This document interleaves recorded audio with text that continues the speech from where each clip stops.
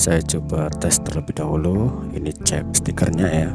Kita coba lihat di sebelah pojok sebelah kanan tidak nyala warna hijaunya untuk indikatornya bahwa TV ini adalah mati total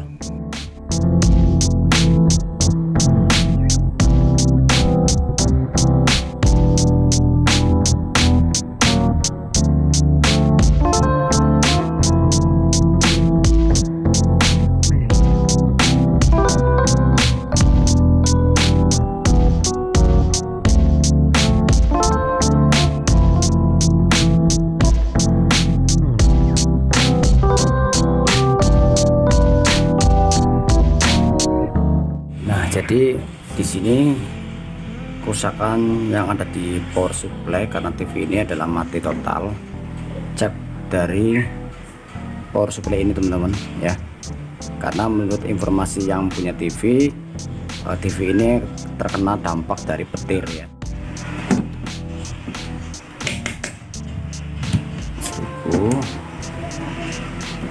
Menggunakan voltmeter tadi sudah saya coba tes dan saya nyalakan ternyata tidak nyala ya, ya.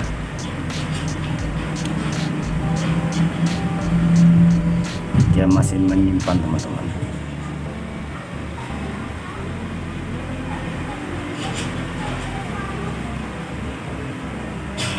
Dia masih menyimpan. Ya. Dan ini plus sama minyak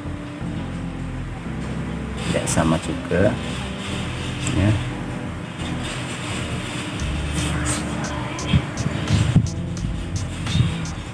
Masih menyimpan tegangan.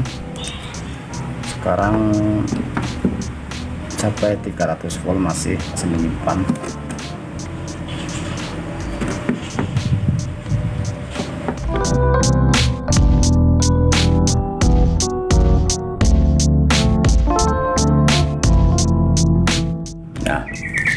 online seperti ini apakah pesanan saya itu sesuai dengan deskripsi yang ada di gambar skema Polytron PLD 32 111 ya.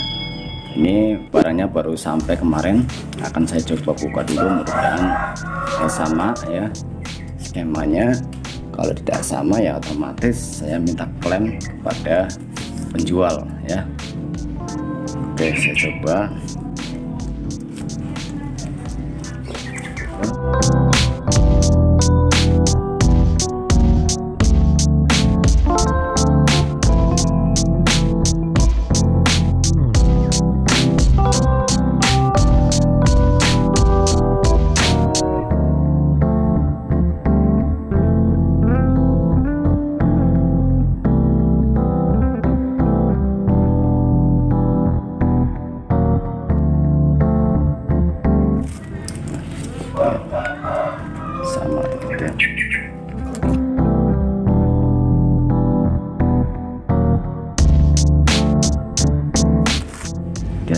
ya.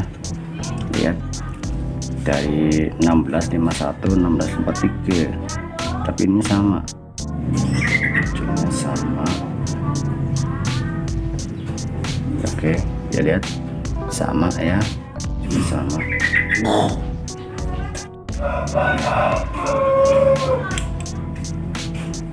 Ya detiknya nomor 23 ya. Oke tinggal saya coba uh, memasang karena untuk power supply ini tidak bisa saya betulkan ya teman-teman. Karena IC dari step down dan juga IC dari bagian seperti ini juga mulai kerusakan.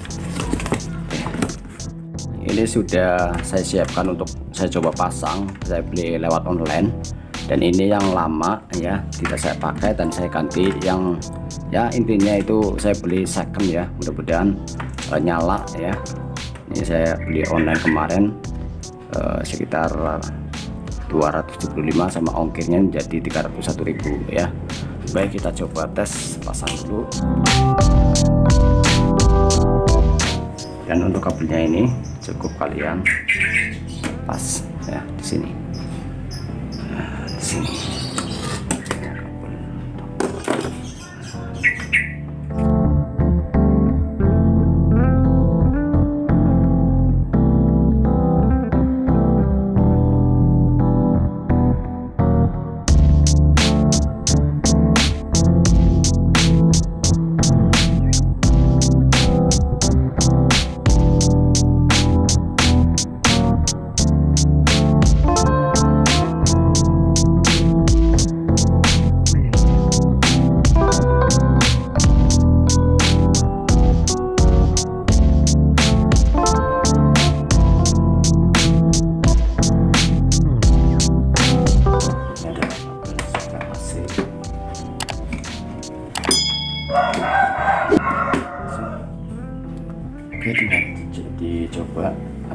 lampu led yang ada di nah, di sini.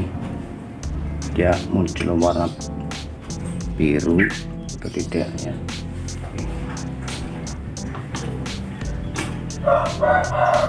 Ya dia muncul. Dia nyala. Ya saya coba tombol dulu powernya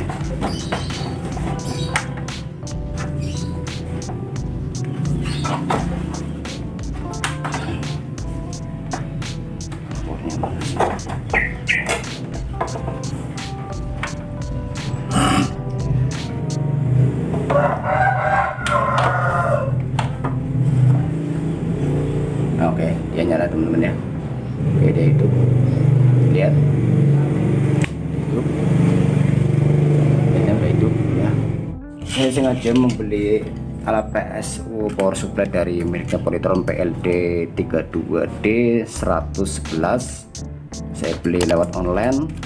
Ya jika kalian uh, ingin mencoba memperbaiki power supply ya silahkan kalau pengen nggak ribet ya silahkan kalian beli di online. Uh, masih banyak dan tidak tidak susah untuk cara memperbaikinya. Oke. okay.